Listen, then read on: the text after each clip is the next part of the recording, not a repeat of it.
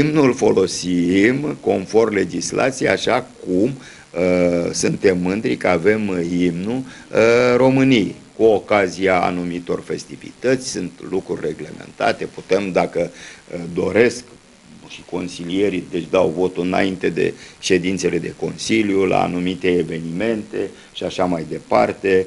Uh, deci la tot felul de evenimente care putem să uh, avem, dacă e să spunem așa, cam este, dacă vreți, o modă ca fiecare comunitate să-și aibă steag, ghim și așa mai departe. Practic e un semn de, de recunoaștere a istoriei, tradiției, a continuității și, a, și al specificației fiecărei localități în, în parte.